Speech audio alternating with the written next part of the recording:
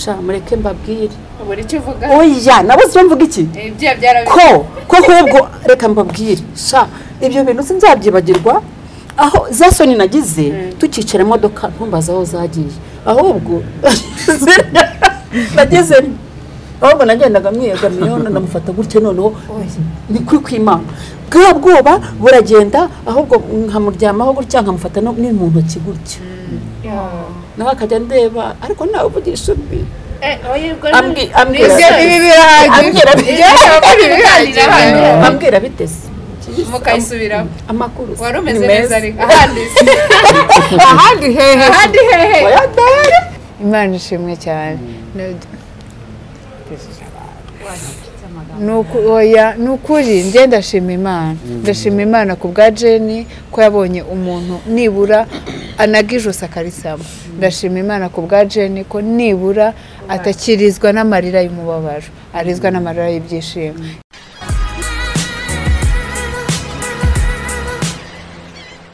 Hey guys! Muraho neza mumeze mute twebwe tumeze neza. Imvura yaguye nawe imvura yaguye. Cyaturebe bitureba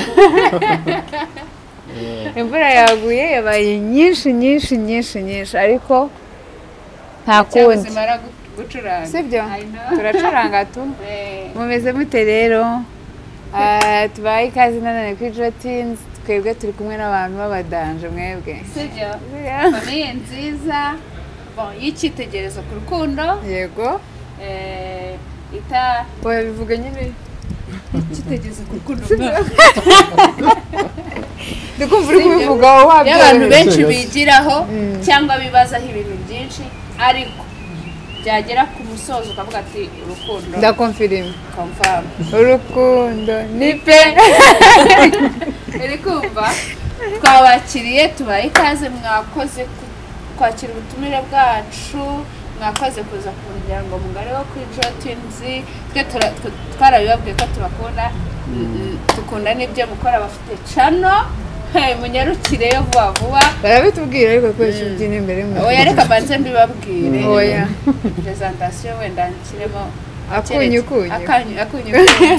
yego turabaha- tubahaye ikaze mu muryango mugari wa Ah, murakoze cyane. Natwe twishimiye kuhagera. Turabakunda cyane cyane ari murakoze cyane. Hanyuma rero tugiye hari ukuntu twahita dukomerezaho twebwe baratuzi. Uko tuzi abantu tuba tuzi ko n'abandi bose baba babazi. tugiye kwivuga tubibwire then tubone gukomeza. Mm. ya murakoze. Kunyakira kuri jotins Yego. ni iby'agaciro cyane nanjye biranshimishije Eh, yanjye ndi bertra. Eh, Eh, uyu ni umufasha wanjye. Imana yanyihereye yego. ah, abantu birukanka cyane cyangwa bareba cyane. Ya rero ndishimye cyane kuba nicaye hano. Ni iby'agaciro kandi nsuhuje n'abakunzi ba jotins yego. Mm, murakoze njye rero abo mundeba ahangaha aho urukundo ruri ni ho mba ndi. Ese ko bativuze? Eh, nari nkomerejeho abandi ni uko ndabakunda gusa. Ya, nitwa jane Mm, bertra tayari ryarangije kujyamo. Hasigaye kujya ku- kubishyira mu irangamimerere. Mm, ndabakunda. Ndabakunda Merci. murimo muravuga mwisekera nkumva noneho ngiye ndarangiye ndabakunda gusa merci beaucoup. Kandi nyine dushuje abakunzi ba Twins n'aba Jane and Bertrand. Bazakurikira iki kiganiro. Si nabo byo? turabasuhuje yego. Tubaye ikaze mwiyumvemo. Ikaze na karibu. hanyuma rero. Tugiye gukomeza. Ntabwo ari ibibazo namwe ibyo mufite. Mubitubaze nta kibazo. Ariko ngewe aho urukundo ruri ni ho ngomba kuba ndi sincikwe sintangwe. Hanyuma rero ngewe mu by'ukuri nzi love story yanyu. Kubera ko narayirebye ahantu henshi namenye ukuntu mwahuye. Ariko hari abantu bameze nka mpingazima basanga eh, na mpinga arayizi. Abantu bameze nka shema. Batayizi sorry. Ntabwo ari wowe ni shema uri inyuma yawe hariya. batayizi. Mugiye kutubwira mu ncamake kugira ngo wowe watitubwira Eh, sibyo kuko Bertrand ntabwo azi kuvuga inkuru abantu bazi ko ayikunda ariko nawe kuri Frank araruzi. Noneho njyewe ufite umunwa. Wowe ariko wowe nibura uri shapu kumurusha njye se ko natereswe Sibyo. mubaze uwaterese akarongora. Njye naratereswe ndarongorwa okay noneho umunsi wa mbere mumenya mubonana Mm. ni rya- hari ryari byageze bite hari mu kwezi kwa karindwi tumenyana ariko tutarabonana mu kwa karindwi amatariki mu matariki abanza y'ukwezi kwa karindwi tumenyana amamagaye kuri telefone tu. Nijoro yarabanje yanyandikira kuri watsapu nkajya musubiza ntamuzi oya ntabwo namusuzuguye. Nari mfite ubwoba. Nari mfite ubwoba ko arimo aneka donc nimajinye ko ari nk'umunyamakuru urimo uneka kugira ngo amakuru ari bunkuremo azayatangaze kuri social media ko ibyo nari ndimo by'agatwiko atari byo. Ya banza kumutinya nyuma ariko akomeza anyandikira ndabimubwira ariko ubwo nturi umunyamakuru ushaka kuneka ati oya um, ndamubwira nti ngaho nyiyereke anyereka ifoto. Nibonye ndavuga nti mva rero nkubwira ibintu byose ujya ubona kuri social media nkora ni filime ndishakira ibirayi by'abana please mbabarire winesha umutwe. Kubera ko mbonye ifoto ariko mbona itari iyanjye ntabwo nabonaga ko yambera. Ndavuga nti mbabarira please ubwo noneho ngira uburakari kurusha ubwo nagiraga twandikirana cyangwa se ampamagara.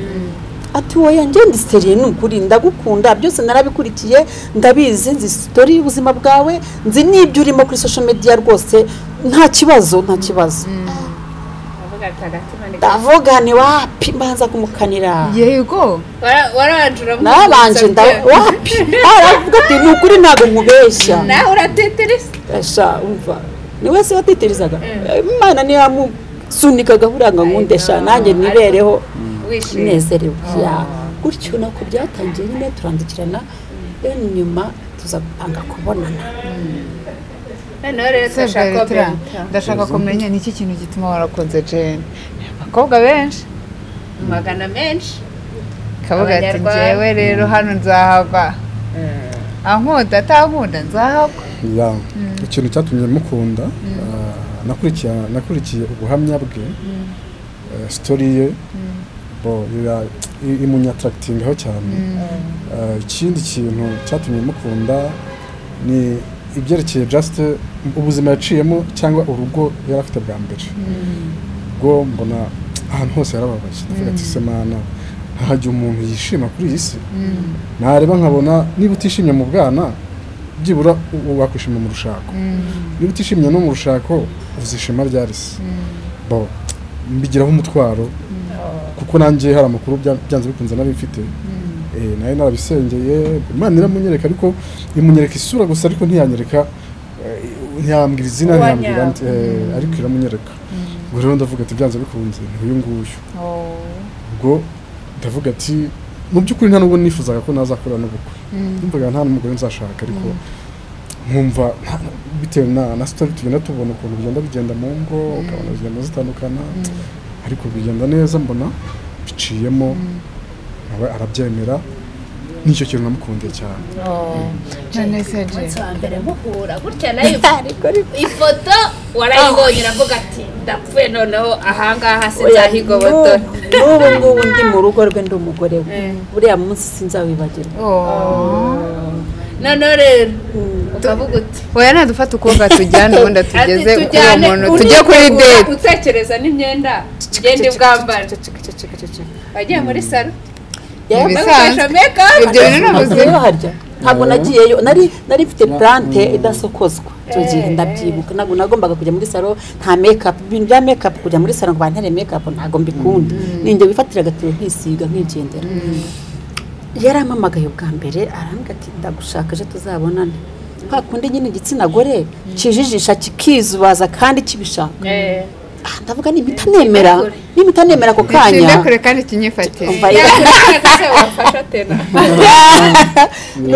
ubwo ndamubwira ni oya ntabwo mpari ndi bize ariko undi munsi uzanshakira uzambona. Ariko umutima utera ngo yo iyi ngendo oya yarangiza ati oya nta kibazo. Ntajya akunda kwinsisita ndamwaba ya undi munsi. Ariko umutima numva ashaka kugenda. Ariko ndavuga ntirekane ihagarare adahita abona kuko ko ndi kirimwabo ahita mpita ngenda. Yego. Ndamwihorera undi munsi hacamo umunsi umwe. Umunsi ukurikiye ati se noneho twabonana. Ntine twabonana arambwira ati duhurire ahantu i Remera. Urumva njyewe arambona kuri social media ariko njye niyo foto yanyohereje nari nzi gusa. Turagenda ndagenda njya i Remera nsanga ahantu. Yari ahagaze antegereje. Naramubonye. Ndi kumva ukuntu Ah, amasaha atagenda we? Amasaha ntagenda ngo mubone. Iceceka niko navugaga navuye mu rugo kuko navuye kabeza. Mfata moto igeze i Remera mbonye ahantu ahagaze Umutima urande ndahagana ndabanza ndamureba. We nawe ntabwo yaramenya ahantu mpagaze mureba. Nawe akomeza ntegereje mfata telefone arampamagara mba ndetse kuyifata nzamusanga ariko muturutse inyuma. Mugeze nko muri metero imwe imbere ye ngo mubone.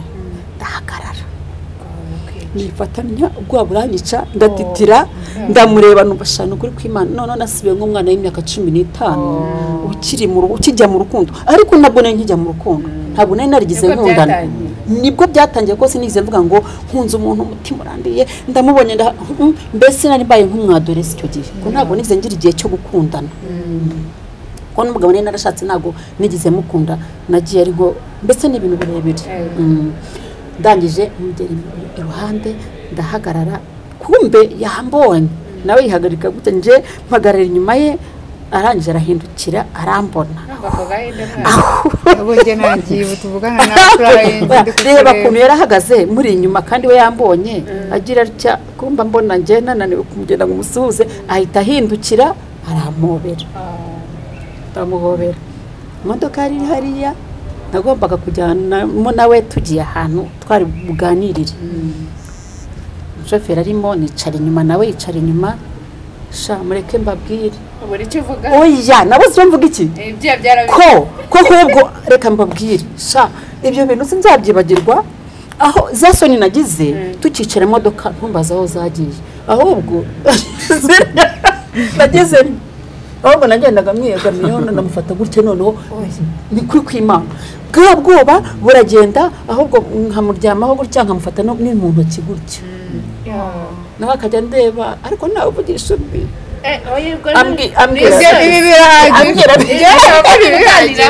ambwira bitese mukayisubiramo amakuru wari umeze neza ariko ahandi ahandi hehe gusa ubwo turagiye tugeze aho twicara turaganiriye mu modoka ni ho isoni zaviriyeho. Ariko tugeze aho twicara nanone zivaho ziragaruka. Ariko zagarukaga mvuga ngo kirera nari mfite urwikekwe. Naravugaga buriya nkundaga mbona kuri kamera. Hari ukuntu kamera igira umuntu ukuntu noneho live Birarangira. sha arava nkatira. Mm, ubwo noneho yambonye wese n'ibitutsi kuri social media barukaga. Ubu noneho. Bwa bucecuru reka bivuge nta kibazo bwa bucecuru noneho arabubonye Karabaye. finish. Ubu cyagiye namufatiraga iki mu ntoki namuryamiyeho iki? Noneho aragenda Ajya avuga ati kwicuza. "Ya, ntangira kwicuza n'ubundi arava ubundi nabikoreraga iki? Kandi ni ukuri namuryamagaho numva nanjye sinzi imbaraga za za ikintu z'urukundo birumvikana. birumvikana imbaraga z'urukundo ukora abana n'ibyo b'abakobwa utateganyije. urukundo urakabyara gusa. Ubwo rero turaganira dusubiye ukuntu yambonye rwose ati humura uzishima ibyo umbwira simbizi kwishima si ibyanjye. Ndumva nta munezi nta n'ibyo nshaka. Kuko numvaga ko n'ubundi avaho yankatiye cyangwa kubwira amagambo kugira ngo mukunde mutandukane. Mm. Eh. numva ko n'ubundi nimwemerera ko nzishima kandi atazampa ibyo byishimo. Ari buhave ntazongera no kubona koru ye nanjye mwumvisha ko nta kibazo ubuzima ndimo bwo kubabara nta kibazo. Ni nabwo bwanjye imana yampaye sinzabureka n'ubwo nta kibazo. Yo. ati oya uzishima humura ni oya ntibyihorere. Bizihorere nzigumire gutya ni byo nshaka nanjye. Kuko nzi ko ari bunkatire Atati, ndamubwira nti ko se uri kumbwira ngo wankunze ni uko wari utarambona. Ubu wambonye se?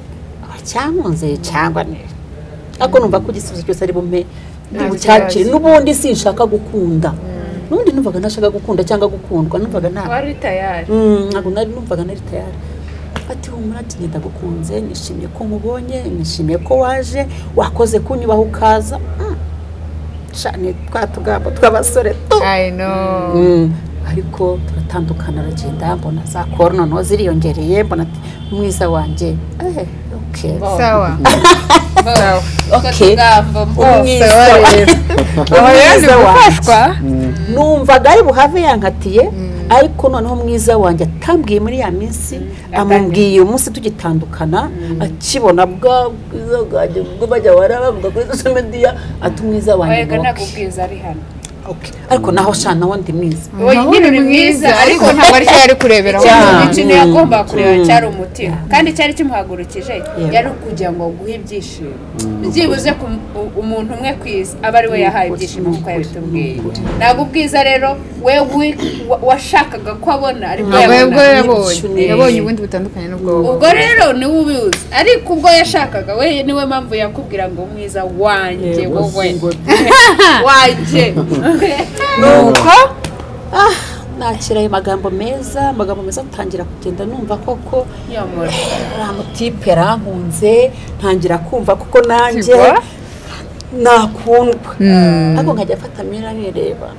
Nibyo? igihe babwiye ama yanyandikira mesaje Ukabitekereza? musakoshi ngafata ka ka fondote nkajya ngera nkazisoma nireba usi ninjye arimo abwira nkasa naho nibaza. Mm. cyangwa se ngo mubaze wansubize ngewe ari kubwira se cyangwa? Nkasoma. Nkireba se yarambonye cyangwa mwongera agakomeza gutyo. Ah, bikomeza gutyo. Noneho rero ndashaka utararengaho utararenga ukiri aho ngaho. N- ndashaka ngo unyi- unyinjize muri muri rya joro mwatandukanye.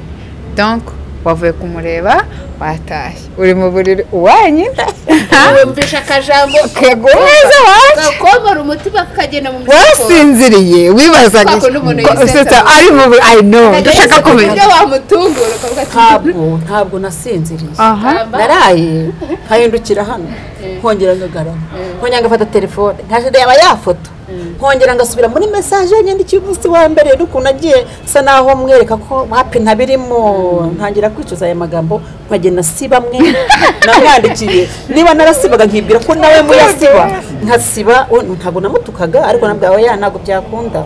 Njyewe ntugire ngo birankina hariya niko biri muzamenyere. Ngenda nzisiba kugira ngo zo ntazajya nzisubiramo nkabona ko hari izo ukicuza. namubwiye nkicuza ndangiye nkagenda nsiga nkohindukira nkareba hirya. Nkongera nkagarama nkongera nawe mu gicuku nkajya kumva igihe ndi gutekereza nkumva mesaje nawe ntiyasinzira Ntabwo yasinzira. Wazajya kundenganya ko nkunda urukundo? Nta- ntangira kumva koko ko nanjye numva mfite umuntu wankunze. Amagambo menshi yambwiraga. Meza. Ntigize mbona ku bandi ku myaka nari mfite naravugaga ntuye ni seriye kandi yari yarambwiye ijambo nambwiye njyewe mbabarira. Ntubone biriya ndimo kuri social media ngo ugire ngo niko kuri. Hari yandi gushaka ibirayi by'abana banjye ubwo namaze kwizera ko atari umunyamakuru. Ko twahuye ntabwo ari iby'ukuri ntabwo rwose ngewe nkunda mfite urukundo rwo kujyana hariya.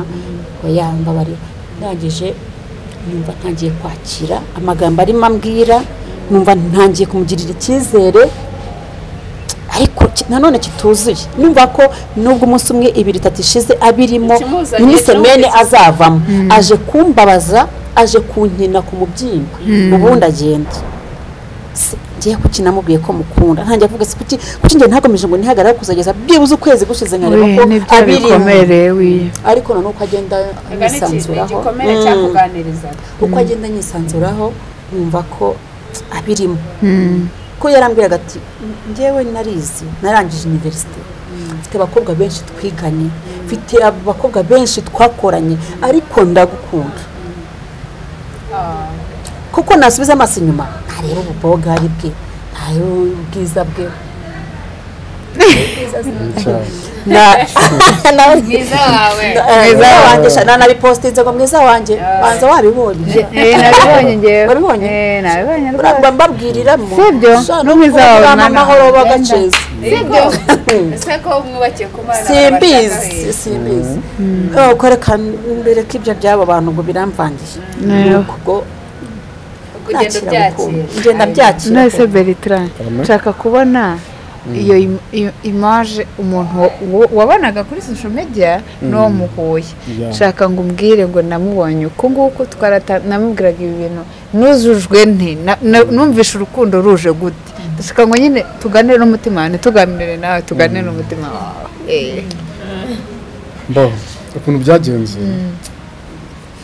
N'ubundi uyu uyu uyu uyu uyu jeni cyangwa uyu cyangwa umugore wanjye ni ukuvuga ni we mpamvu mvuze muntu ibintu just mbona. na na yo ntegereje niko nabyita kuko pe nk'uko abivuze yaniganye n'abantu benshi b'abakobwa yakoranye n'abantu benshi b'abakobwa ariko ntabwo bigeze bagira ute ntabwo ntabwo ntabwo ba ntabwo bangiyemo ntabwo bangiyemo rero kuvuga wenda umutima wanjye ukuntu wahise wakira cyangwa wiyomanta cyangwa wi- wi- wisanga mu rukundo. Biragoye. Biragoye kuko burya ngo akari ku mutima gasesekara ku munwa. ni ukuvuga niba naramukurikiraga kandi nkaba nari mfite amakuru ntari naramenya uwo ari we. Ariko gusa nkavuga reka ngende nzabona uwo ari we byanze bikunze. Gusa mfite mfite isura. Ubwo na- naje kwibona kuri nyine. Ba- sinzi niba wenda ibisubizo nguhaye niba kikunyuze neza ah, buriya biragora kugira ngo umuntu avuge ikintu cyo ku mutima cyane. Cyangwa umuntu akigarure ah, oya Oh, ndabyumva. yego. Ariko uh, umunsi wa mbere mwaraganiriye ubona umuntu wuzuza kuko imana iguha uwo mwuzuzana n'amarangamutima yawe. Ikavuga ngo uyu nguyu azavuga a njyewe mvuge b twuzuzanye dutere intambwe turenge a na b tugere kuri c. Noneho rero ndashaka kumenya mwaganiriye Mm. wabonye ibikomere afite wamuganirije nyine muri ya deti yanyu ya mbere. Mm. umunsi watashye. Eh, wowe wari umeze ute? Jene we okay bo narishimye. Narishimye kuko na- nanjye kuba nari mubonye twari twabonanye bwa mbere vizavu byaranshimishije cyane kuko nanjye nawe atashye numva bo, numva birandenze numva rwa rukundo namubonagaho nkumva ni rwo noneho ntabwo ari ntabwo ari rwo ashakisha bo biranshimisha uko iminsi igenda ishira nkabona urukundo rugenda rwiyongera ha- yaba kuri we yaba no kuri njyewe birangira gutyo nyine. Tugize biragoye Eh. bigora umuntu cyane cyane uri mu buzima bwawe kandi ufite ibikomere. Ukunda umuntu Mm. ukamukundana n'ibikomere Ibikomere. ukamukundana n'amagambo yo kuri social media ukamukundana na famiye zahagurutse ukamukundana n'abana be ukamukunda ukamukunda. Ukamukundana ibye ibibi n'ibyiza byose ugahaguruka. Wowe hari umuntu muri iyi minsi uremerewe cyangwa se ufite uri mu mayira abiri. Mm. utazi icyo gukora. Wowe uri hano kuko ibyo warabitsinze deja. Watsinze izo ntambara. izo ntambara. Waravuze ngo kama mbaya mbaya uwo nakunze ni uyu mutima wanjye n'uyu washimye abandi bose ugiye sha mu bisheke ubu nyine ni- ni izihe mbaraga ni- ubuhe butwari? Ni- ni iki cyagupushinga ku- kunamba ku mugore wawe? Icya mbere icya mbere ni ugusenga. Icya mbere ni ugusenga ariko mbere yo gusenga kwiyemeza. Kwiyemeza noneho ukanasenga. Iyo umaze kwiyemeza ukanasenga n'abantu ntiwite no ku bantu. Kuko na perezida wacu aravuga ngo "Ni- nutera imbere. Ntuza- ntukite ku baguca intege. Kuko bazakugarukira nyuma ahubwo noneho barabarenze kandi bo barasigaye. Iryo jambo iriya speech ya perezida na yo yara cyane na yo iramfasha cyane. Noneho biba gutyo bakanuka bakadutuka nabo bakamutuka. Rimwe tuza no kujya ahantu kuba turi nyabugogo hafi. Bro ubwo sinzi ikintu cyabaye. Niba ari sinzi ukuntu ushobora uraza kubinyibutsa Igihe tu- sinzi uraza kubinyibutsaho ntabwo mbyibuka neza. Sibyo noneho biba gutyo eh, numva imbaraga zindi hamwe no gusenga ziraje ndavuga ati byanze bikunze. Ntabwo nanjye nabyishoboza sinari kubyishoboza. Kuko hari igihe abantu bahagurukira icyarimwe bakavuga ati eh ibintu ndabikira cyane agira iti cyokora ikintu cyabanje kungora bwa mbere ni ukujya kuri social media bwa mbere na mbere icyo cyabanje kungora kirangura cyane ariko ndabimenyera kandi hari n'ukuntu niyo usenga hari n'ukuntu imana na yo igutegura kuyobora yego Wabi- wabinyuramo ugasanga imana yaraguteguye kare kumva wowe birakoroheye mu gihe abantu baba kubona ko bigukomereye twibaze ko yagukunze ufite ibikomere. Ibyo bibazo byose wamubazaga uko kwicuza uko gusiba mesaje byose byari ibikomere bikuganiriza. Ariko biragera aho hamwe n'igihe bigahita. Ukumva ko kuramwumva n'uwawe ubukwe burabaye murakundanye. Umunsi wa propose amubwira ati will you marry me? Wa mbere Hafi umwanya. gahunda urasota ntabwo yabibonye oya ikibazo mpiga nzima ngewe ibyo bintu hari videwo hari na realite y'umuntu uvuga ko niyumvaga nitwe twe ni byo tuba dukeneye ko videwo urayinjoyinga ariko ntabwo umuntu yavuga ati njye naraye ntasinziriye najyaga muri dushe aka- akameta akagashyira ntabwo ibyo bintu se ibyo byerekana muri videwo si wumva mbere yaje mbere mbere mbere y'ivi mbere yuko nyambika fiyansaye cyangwa se mbere ho gato yuko noneho nza kwakira ko kuko ari Ari ibyo uwawe. uratambeshya twafashe urugendo rurerure. Harimo harimo urugendo rwo kuva kubyemera no kujya gutera ivi. Twabanje kujya gusenga. Mvuga ngo numve koko niba atambeshya kandi noneho n'umutima wanjye imana iwushyiremo ko nanjye nakundwa atambeshya kuko urumva umutima wanjye nawo nti- ntiwizeraga. Ko ibyo ambwira ari ukuri kandi we aziwe ko ibyo ambwira ari ukuri twafashe inzira tukajya gusenga n'akanyariro. Tugafata inzira tukajya gusenga tukava gusenga tukajya aho ahandi mu byumba hafi n'i Rwamagana naho. Twajyanye gusenga ahantu hose. Kugira ngo numve icyo imana ibivugaho imana ikabivugaho. Imana ikavuga iti ndaje nkubakire mwana wanjye nzaguha urugo kuko na kera ntaramumenya nawe najyaga gusenga imana ikambwira gutyo ariko imana nkayikatira nkayibwira wapi ntabwo ibintu gusaba gusaba umugabo nawe nshaka. Wenda hatazagira ngo n'abantu ba- bumva ko nasenze ngo amavura ko bakanywemo umugabo. Ntabwo nashakaga ko umwana umugabo. Nashakaga ko impa ubuzima nkarera abana gusa nkiberaho. Kuko na- ba bagabo bitwa ibigoryi nta n'ibyazaga imana yari yarabinkuyemo nta byazaga pe. Kuko byari kunkura ko niberaga mu byumba. Mu byumba cyo ko nashaka abaye inzererezi mu mana mu byumba byose nkajyayo ngiye gushaka imana kugira ngo indengere. Rero twafashe urugendo rwo gusenga imana irabinyumvisha umutima wanjye urabyakira itangira noneho kumpa amakuru y'umugabo impaye uko ameze na- nkananyabya njyenyine nkagenda tutari kumwe. Imana ikampa amakuru. Impaye amakuru ntisawa noneho reka mbigemo neza umugabo wanjye ati rero njyewe ikimenyetso cy'uko ngukunda. Ibintu byose abakobwa bakorerwa nzabigukorera. Ara- arantungura atera ivi vi- mwararibonye byabereye ahantu heza atumira abantu ntabizi umfasha iva ari kubita hasi anyambika impeta. Aho sasa ni ho nemereye ngo noneho ndemeye. Bya bindi- noneho njya narujyamo. Rero nanjye? Ntinyuka kumubwira twa tugambo twiza tw'urukundo. Kera tukiri muri pirimeri twajyaga dufata indirimbo za kera z'urukundo. Tukazikoramo ibaruwa. Tukazoherezanya bya bintu bya musiko rero. Ubwo ntangira nanjye kumva indirimbo z'urukundo nkajya mvanamo interuro indi nka mbese nkandika muri mesaje nkoresheje amagambo y'urukundo yandi ari bumugereho noneho wa yego sha aza kumugeraho noneho nawe agafata nk'uko napfuye mwipfire mwese tukiherera ntihandi tukibwira ntabwo nyashaka mwese ni umureyo nkayashaka handi ari buze kumu- kumukogosha noneho rwa rundi afite rukamusaza asa rero noneho nagiye ko numva ngiye gusa. Uretse ko nawe wisarire reka mwisarire nyine. Noneho hari ahantu wavuzeho impeta. Iriya mpeta najyaga njya muri tagisi nkareba umukobwa mwiza wese. Nkareba ko yambaye ka kameta. oya nkareba ko yambaye impeta. Niba adafite fiyansa wenda afite aliyanse nkasanga umwe yifitiye iyi mpeta narayikundaga ifite kano gasaro kanini shawe. Nkareba nasanga ayifite nkayireba uriya agiye kuzaba umugore koko. Bajye bamuhonda numvaga ko umugore ari uwo gukubitwa ari uwo kubwirwa nabi. Ariko noneho maze kuyambara nagendaga sha ceceka. Kuwa mbere naraje noneho kuwa kabiri nara yo mana. Yanjye noneho amasaha reba ukajya ugira kugira nanjye ubwanjye naricaraga nkayireba yo. Nkumva kumva ndashaka kujya ahantu gusa kugira ngo abantu baze kubona ko nambaye impeta. Impeta iba impeta nijoro mva nkayirarana ubundi nkabyuka ngacana itara nkayireba. Ko hari nkayireba nkumva ko nanjye nambaye ino mpeta Ah. noneho ntangira kwiyumva ko noneho nanjye nabaye umukobwa.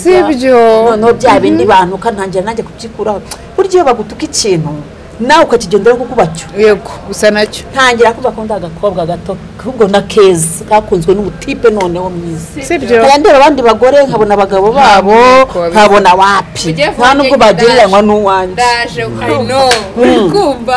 Nkabona aba bandi nkumva "Si buriya.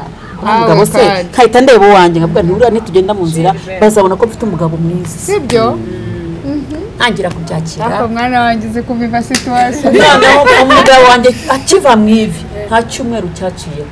Ati njye ndi seriya ahubwo tujye kwandikisha umurenge. Yaba bibu beritara umeze neza. Ibindi bisigaye ndimumwibarize ibindi ndaza gukomereza ku ndi gufashwa ntujushwe njyewe cyane ndi kumva ari eh, eh, nawe uri gufashwa utazi ukuntu nari meze nanjye ubwanjye. Nicaraga mu rugo nkatangira kumva uburyo nzaba ndi mu- rugo. rwe ntangira kumva uburyo tuzajya tugendana n'ikintu namukundiye yabaye proud yanjye kuva ku munsi wa mbere kugeza ku wa nyuma. Twagendana akumva ko twagendana kandi afashe ku kaboko. Noneho wanjye nkaba ari njyewe uza guhura n'abantu ntiburiya barimo batambereye ngo bata- ati zana ariko se uta- utakubereye. Uko mwipimye mukabona iyo uwo ninde wundi uje kubapima kandi? Rero kwipima. Kwipima ni nko kuvuga ngo nambaye ikanzu irambereye undi muntu uri nyine kumva kumva ko atambaye yabonye ko aberewe. Wowe urinde wo kumvuga ko utaberewe?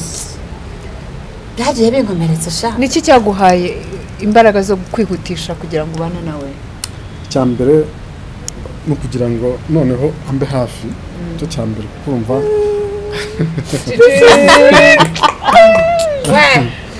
Ntabwo ndi umureye hanyuma se mwebwe ma kube hafi sitaragwa mureke Tuge- tugendane neza kugira ngo urukundo rw'ubuzima bwe bube hafi Yes. tugendane neza ntimusigare sibyo?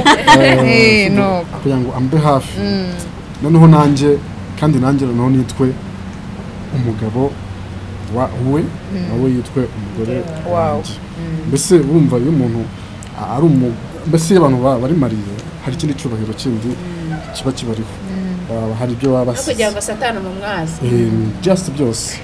Eh ni byo. Mwinga, kugira amagambo mu buzima hari ukuntu hari ukuntu satani umumwazi biri seriye adukora mu jisho ariko akadusuzugura akadukora mu maso. Akadutokoza ariko iyo twamumwaje Eh, ndabikunda cyane. Ubwo biba bibaye gutyo ndavuga ati reka tujye ku murenge.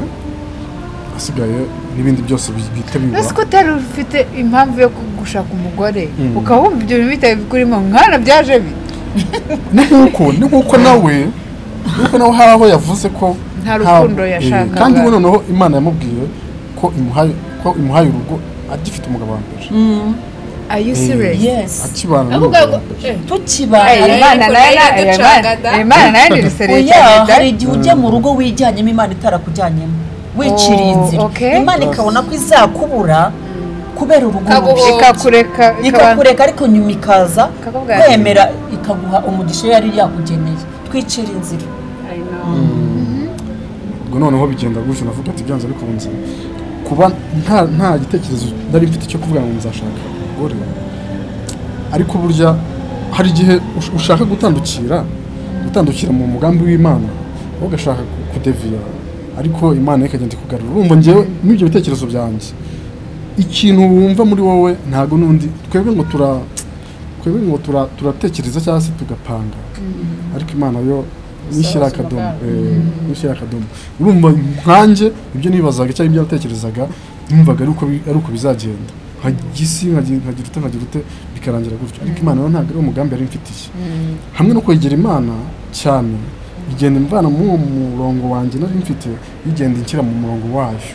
Ubwo ihita inkombayinisha nawe. Ihita mbese impuza nawe. Tuba umwe. Ndavuga ati byanze bikunze reka tugire ute?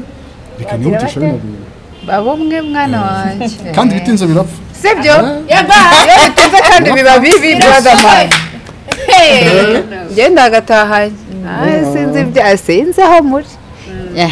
Jeni ngewe rero jeni jeni we nshaka ni we mwagiye ku murenge urumva noneho yiswe umugabo wawe. Uwo munsi ariko muri iyo minsi twarahuye. Eh narakubonaga eh mwavuye mu murenge?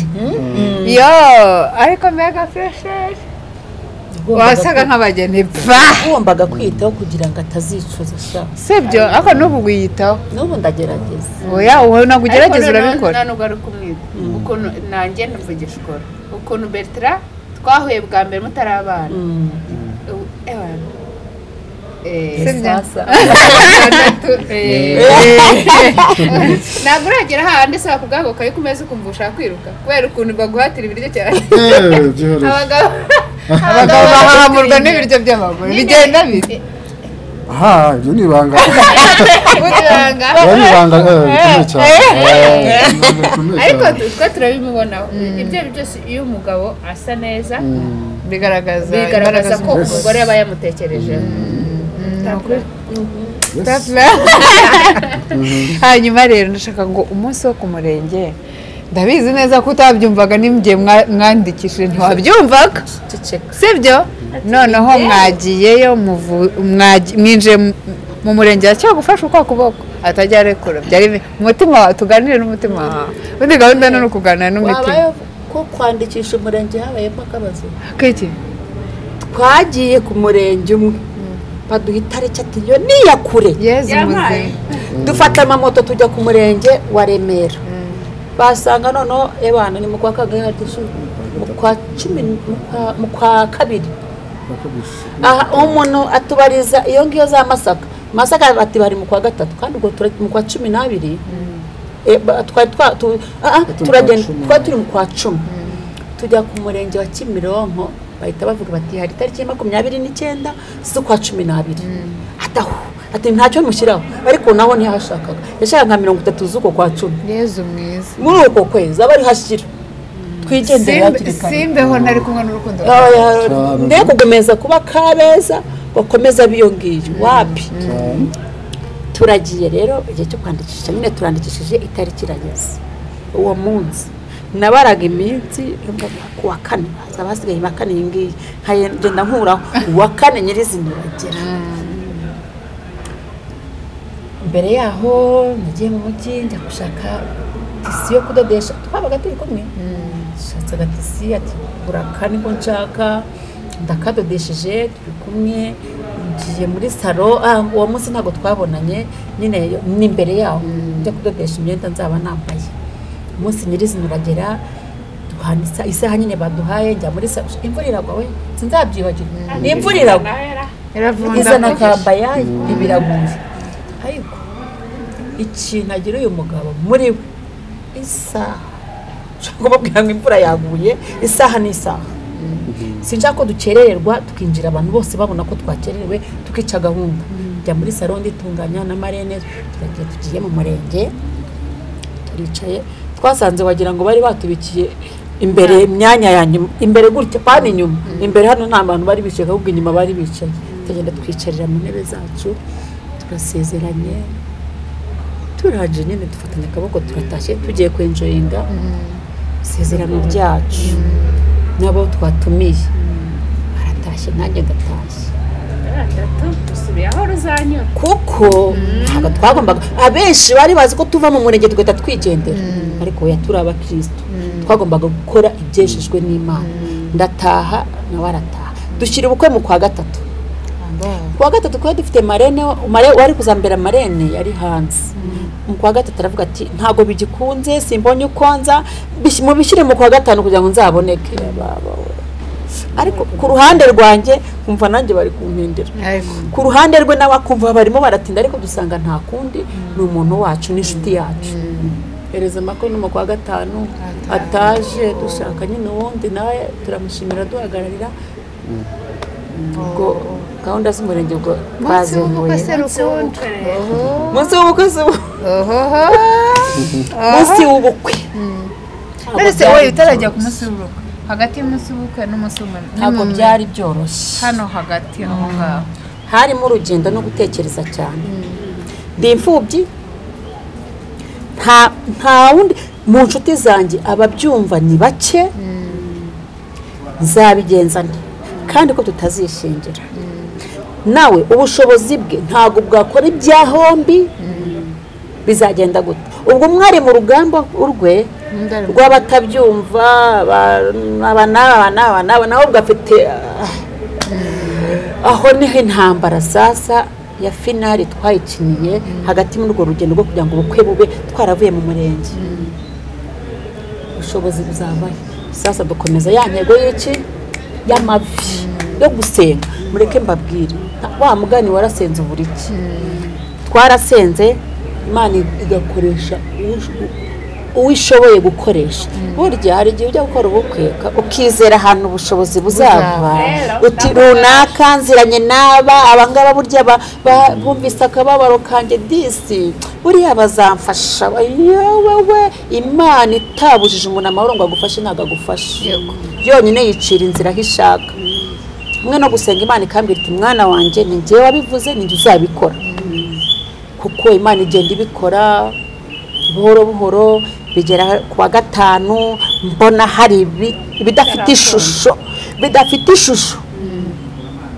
Nka kimwe cya kabiri cyarakoretse ikindi sasa bigeze saa sita z'ijoro ku wa gatanu ntabwo kirakoreka. Kandi nta wundi muntu nizeye ngo ari bubikore. Ariko imana ikoresha abantu umuntu atazi saa cyenda z'igicuku zo ku wa gatanu mbona ibyo naburaga byose imana irabizanye. Nkore- nkorerwa dote nk'abakobwa. Ndasabwa ndakobwa. Bana banjye nibo babaye basaza banjye barantanga. Saza wanjye ndamufite nkurikira ariko nyine nawe yarapowesheje ati abangaba nibo bari mu gutanga Ba intacyo boss. ndaba nicaye aha Do. bana ba eh eh abana b'abasore beza kandi baseka. ariko nyine ukuntu wavuze ngo abana bawe nibo babaye basaza bawe. Imana biteye Eh, babaye basaza banjye kandi baba abana banjye baseka bagenda banyambika twa tuntu twaha bambara ni cyo kintu kimbabaza na twambaye nabi. Mbura n'umuntu mu bantu twari kumwe tunyambika neza uba numva nasubiramo nkifotoza nkadushyiramo nkadufunga neza. Umwana mukuru agenda atunzamurira hano turimo tugwa ubwo barimo baranshyira umugabo wanjye. Mu mu tente nyine. Agenda atuzamura atunyambika umukurikirana ati mewe uciye wenyine uradusize gendere nyine. Ese twabigenza gute? Tugiye bari abantu bari kundeba ngiye no kubapepera maze ndebe yagare babapepera mbese bigaragaza ko babikunze. Barabyumvaga. Barabyumvaga cyane. Bari ku ruhande rwawe. Aha ku ruhande rwanjye gusa no ku ruhande rw'umugabo. Kuko bamaze kuntanga nawe baragenda baramwambarira. Bati mama ndashaka ko abantu bafunga iminwa. Ntibazavuga ko wabiduteyemo ku ngahato ko nawe turamwambarira. Barabimusaba nawe ati ntabwo nabibirangira muzanyambarire. Abana barantanga imana idukorera ubukwe bwiza. Nanjye ubwanjye ntabonaga ishusho yabwo ariko imana idukorera ubukwe bwiza. Ubu muraryoshye ijoro ry'ubukwe nanjye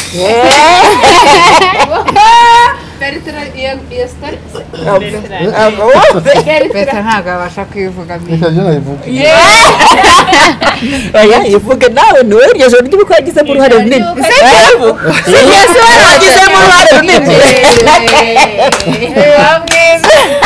wewe nawe ivuge ivuge Yivuga, ijoro ry'ubukwe kandi nyine twinjizemo kandi nyine ntudusonde murakoze kereka iyo iyo bivuga oya bivuge ok nateka mbivuga yo. Ceceka ceceka yewe Ah, ijoro ry'ubukwe nyine ok twayishimye Bertrand. ubwo muri end of story ntabwo twari tunaniwe ha twarasenze mushima imana mu buryo bwose dushima imana twarasenze dushima imana yadukoreye ubukwe bwiza mu bintu bigoranye ariko bukaba kuko bwari burimo ibintu by'imitego myinshi. Ariko imana irayidusimbutse so bari kudusezeranya ntibadusezeranya b'abapasiteri dushaka uwundi. Eh, ibi bintu bikomeye urusengero twari kujyamo ruhinduka kuri finari dusezeranira mu itente ariko turasezerana. Twaragiye dushima imana. Dushima imana muri byose. Ubundi nyine. mubabeza koko. iki? mubabeza koko. Cya gikorwa gitagatifu ni icyo gushima imana. Sibyo mwana wanjye uzi ubwenge yesu aguhana umugisha ibindi ushaka ni ko nawe ugira Yeah. ubundi mwarasenze mu buriki urakomeje umunsi wa mbere. Ariko aka- Abaye umugore ariko aka aka ibintu byo kumanura ashaka igihe uri guhata ibibazo byenyine nawe ni mu muhata ibibazo kuvuga sitori neza. ngo twarishe twarishe turangiza ubwo mwarishimye Nyine gute twarishimye. mu buhe buryo naramunyuze aranyura abo Ventre. nyuma Hari barimo ikindi- niyo kaka batumye nseka nkabo nanjye ndabaye nkabo neza neza barimo baragira gutya nanjye nkagenda sibyo? Ariko nta kintu bitwaye. None se si ibintu byishimo. Si byari byiza. Si ibintu umuntu aba akumva yari atamuzi bamwe Eh, biba ku mutima n'umubiri. Data ariko ni ibintu kandi biriya bintu byari bisengeye bitagatifujwe ni ukuri imana yabihaye umugisha. Ubwo se byari bugende bite mva nkubwire josette rero umunsi wa mbere bwarije nyine burira ariko pe. Burira buracya. buracya bucya none ikintu kirenze ni ukuntu bwakeye vuba burira munsi ucya vuba sibyo? Noneho umunsi wa mbere bavuga ati mbo ngewe ubu ni madamu bertrand. Ndabyutse ngiye kurebana n'urugo rwanjye. Za ntambara zavuyeho imana twayibonye ngiye kurebana n'urugo rwawe. Ni iyihe ngamba? Ni ubuhe? Nyine ni ingamba wari ufite mu rugo rwawe? Ko hari ibintu tuba tu kandi realite y'urugo we wari uyizi. Noneho ukavuga ngo ubu ngubu bya bindi bya enjoyment ibyo byo ku bukwe amafoto abantu nyine harahiye ibyo byararangiye. Urugo noneho ruratangiye rwa nyarwo ingamba gutinya ibikomere kumva nta nta bwoba wari ugifite. Ntabwo banari ngifite ariko numvaga hari ibintu bizangora. Kandi n'undi mudamu uwo ari we wese waba umeze nkanjye byamugora. Urumva nari maze imyaka cumi n'ine nibana bana n'abana banjye gusa. Urumva najyaga gusenga nkajya gusengera aho nshaka nkajya mu byumba nshakamo nashaka nkarara mu byumba nkagira gute? Habayeho shanjema yo kuvuga ngo kwa kundi nigengaga ndataha igihe nshakiye nta- ntabwo ndabwira abana ntininze mu nzira ndaha. Ariko ntabwo abana bari bumbaze ngo kuki watinze? Na- nahise numva ko noneho ngiye kujya kuba umugore wubahiriza inshingano. Kandi ubundi nabayeho ndi mbese iyo umuntu yaba ari nk'ikigenge iyi iragira ya bavuga ngo ubu ntambwira ngo ngiye aha nzajya mubwira ngo natinze azajya mbaza ngo ko watinze. Hano ubundi nawe abimbaza. Mm. napfuye none reka ntawe vuga si ubu si bizangora. Kandi kuko usanga bigoranye. Kuko byanga bikunda ari bukubaza tuwatinze cyangwa uracyariye vuga ntacyo. Nzabyihanganira. Vuga ngo ubu rero ngiye kubaka umuryango hano wundi mushya. Hazabaho itandukaniro? Ndabizi neza ko hazabaho itandukaniro ry'urugo rwanjye rwa mbere. Kubera ko umugabo wa mbere ukuntu yari ameze sinakwirwa mbisubiramo. Ntabwo yari ashoboye nta n'umugore n'ubu ntawe yagira nta n'uwo azabona ahari kereka imana nimugirira ubuntu. Nti ibyo ari byo byose urugo nzarwubaka neza. Kuko kera nyine umukobwa nibazaga ukuntu umugore arongorwa bugacya agakora udusuku mu nzu akakenyera agatenge agasohoka akinjira abona umugabo hariya agatwita akabyara agaheka umwana agasanganira umugabo avuye ku kazi ahetse umwana we amwereka umwana ukuntu yiriwe mbese iyo shusho ntabwo nayigeze kandi nkiri umukobwa nayumvaga nyishaka. Nahise mvuga ngo ubu noneho ya shusho nashakaga kera nkiri umukobwa nkabura ubu ngiye kuyibonera mu rugo rwanjye.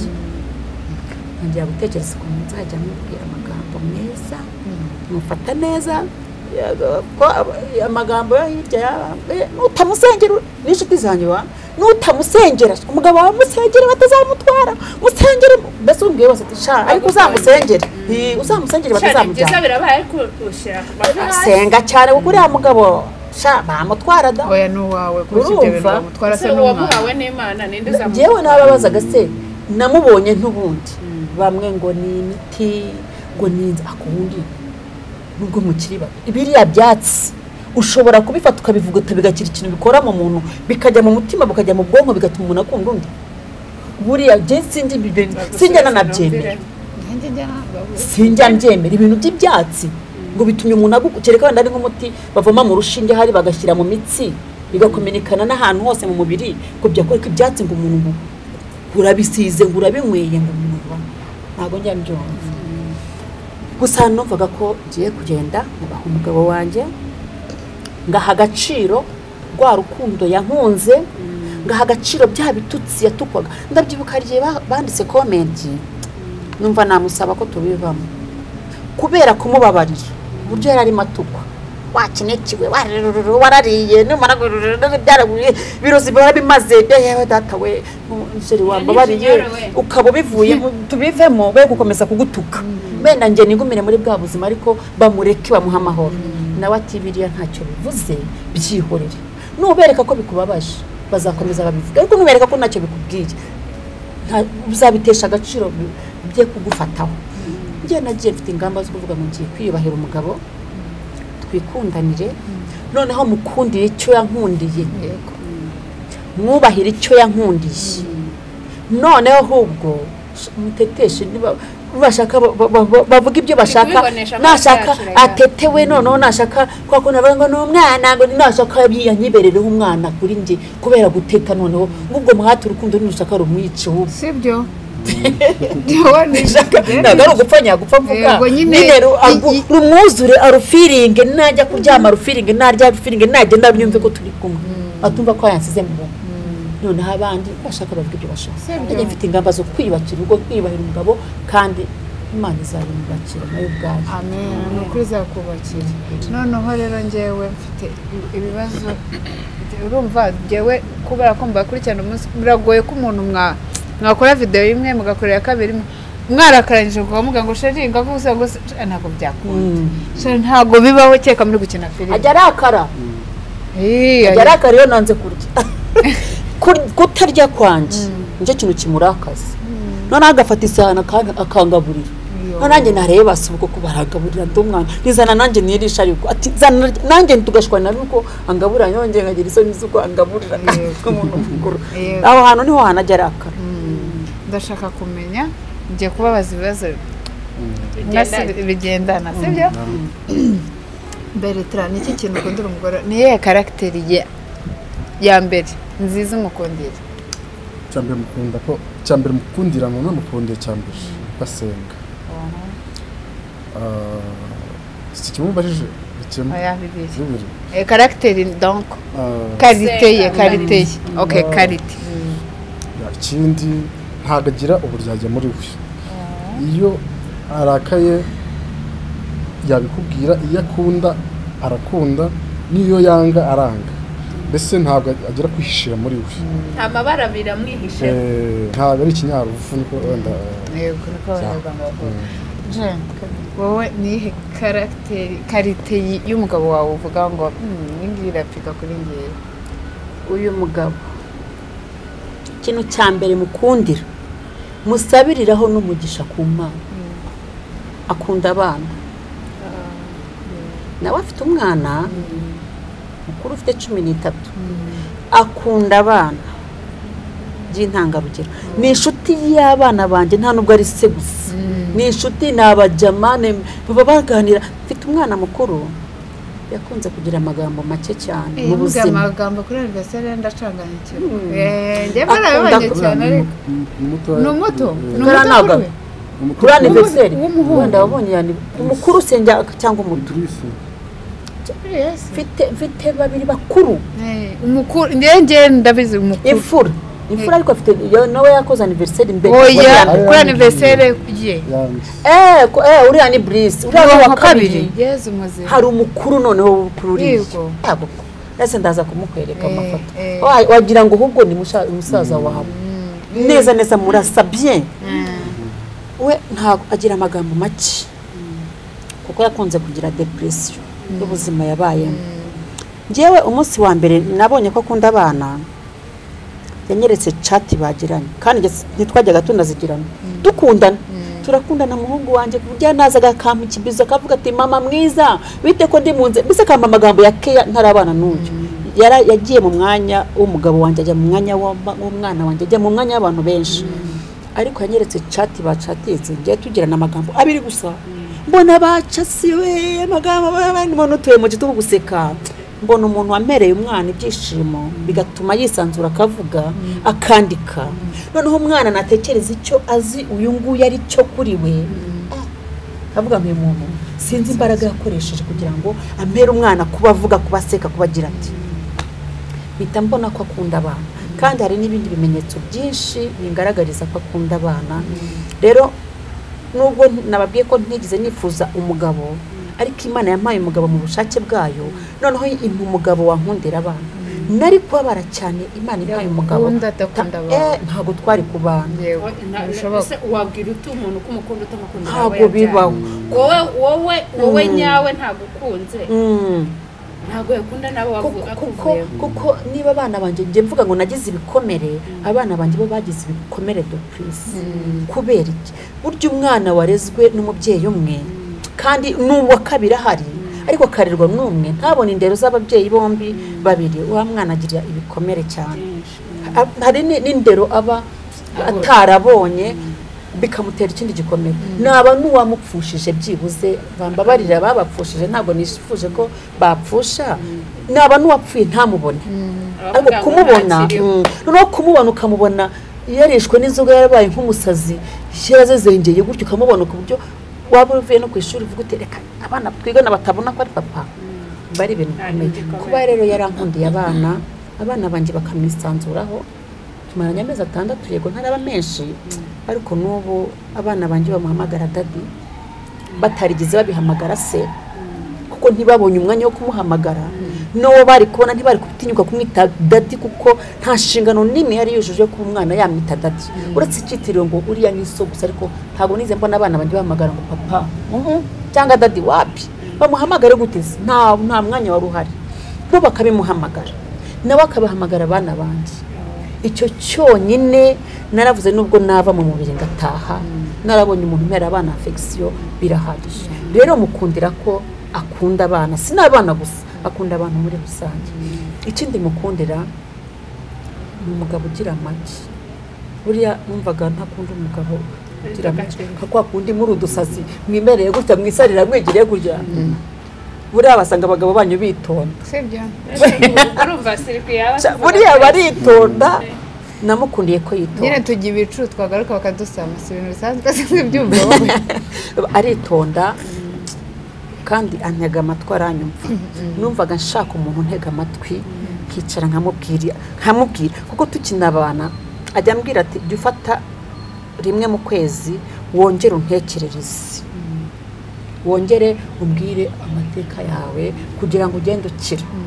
Bisubiremo ubimbwire. Kuko yambwiye ijambo rimwe arambwira ati njyewe nas- ajya anakunda no kubivuga. Ati nasabye imana ngo ngo imana izamuhe ajye agendana ubuzima bwanjye. Nk'igikapu afite atyo. Abugendana aho agiye agendana ubuzima bwanjye ahore yibuka jeni wababaye gutya Jeni, abigendane kugira ngo atazatandukira akambabaza imana iguha umugisha bertrand. Bwo kuzahura umuntu uzi ko yego mwami. Sinari nangiye kubivuga se agahita abi- babivugiramo imana izamuhe kugendana ubuzima bwanjye. Mbese abugenda wa mubabaro Ariko njye nkumva mufitiye impuhwe. Ntamubwiye se kuki wasabye imana ikintu kibi gikomeye? Ugendane ubuzima bwanjye nawe noneho bukubemo bu- bukuremereye Eh, ati- ntabwo- buzandemerera ahubwo buzajya bundinda kuba nakubabaza. Ariko rati imana imana ni ukuri ni urukundo. Ibaze ibaze inzira zose waciye amasengesho yose ntabwo wicuza amasengesho yose yavugaga imana nta mugabo nshaka ndashaka amafaranga ndakubwiye ngo Finally. nagiye gusengera ahantu bwari ubwa mbere sanga umukozi w'imana waho imana yamunyeretse mu gicuku. Arabyuka aca papiye jenike ayikoramo impeta ayibika muri turuwari. Mpageze yahise ajya mu mwuka ahita aza yirukanka ya papiye jenike akozemo impeta arayinyambika ngewe nagiye mvuga ngo mana mbabarira nkure kujya kumesera abantu unkure kujya gukora ubuyede nta n'imbaraga mfite Eh, narabyibushye nari mfite ibiro mirongo itanu n'umunani ubu mfite ibiro mirongo itandatu n'umunani mbanza byaraniyongereye Me- mezi cyane rwose kandi noneho njya njya kuri Ku ba- bajya kunyereka inyoni kugira ngo noneho ibaze nicaye nka dore ubu njya kubera imiti ahora ngurira ya peti kugira ngo noneho nicaye nkarya noneho no kunetesha kwe noneho na, sibyo? We, urumva no, ushaka iyo meta nayivaniyemo aho ngaho ngita aho ngaho sinanasenze narigendeye kuko imana yari imbwiye ngo igiye izankura ngo ariko ikambwira iti nzaguha umugabo mwiza sinzaguha umugabo watandukanye. Sinzaguha umupfakazi. Nzaguha umusore. Ibintu bikomeye? Noneho ikabimbwira mbana n'umugabo uwo nguwo tukibana kinserereza kandi batanamwiza nari nkuze ku byo bigaragara ko mfite ndi n'umugore nanabyaye. Ariko imana igakomeza imbwira iryo jambo. Najya hano ikambwira gutyo. Ngera igihe no gusenga ndabiparika kubera ko imana ibwira umugabo. Ariko igihe None cyari waramubonye. Imana Na- ntibeshya. sha- sha, se, na- ubu se na- naramubonye se. Ubu se uyu ni umugabo. Ni papa Ni ni mama.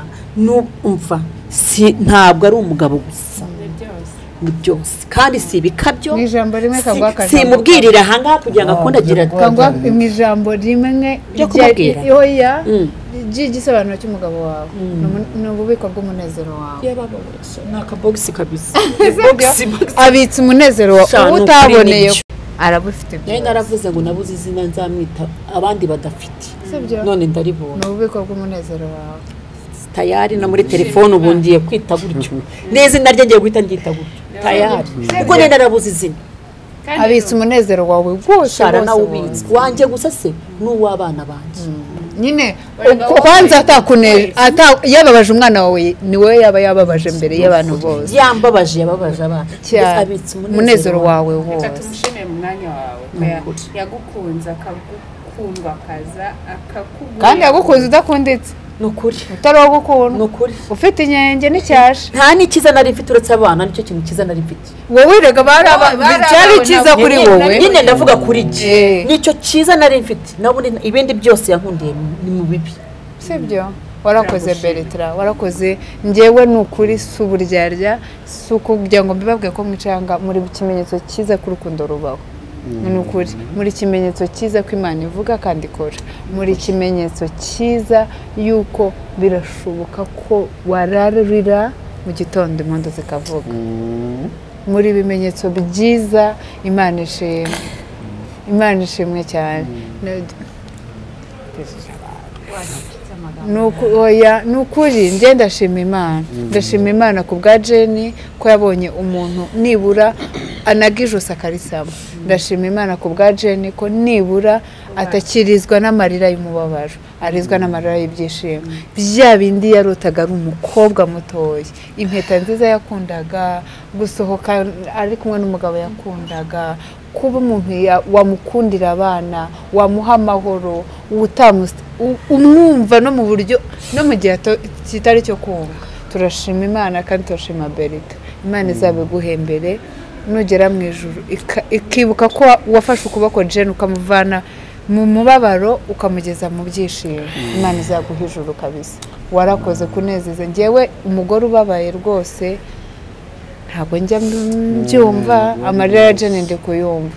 Ndashima imana warakoze warakoze kumukunda warakoze kumukundira n'abamukunda warakoze kumu- kumuha amahoro kugira ngo abone uko yirerera abana. Abakuze abigize hejuru. Nje warakoze kumvira mwuka wera warakoze ku- gukunda uyu mugabo n'ibikomere byawe. Byari kuba ukanga ubushake bw'imana kuri wowe ukabu- ukabugira ko warakoze kuba umugore mwiza kandi pe uri umugore mwiza. Ukwiye ibyiza ukwiye ibyishimo. Nta kure utagera nta byishimo bitakubereye uri umugore mwiza pe. Uri umugore mwiza. Tutitaye ku byo abantu bareba n'ibyo bavuga ariko ukuri kuri mu mutima wawe ukuri ni uko ubu ngubu hari iherezo rya- rya- ryagezweho.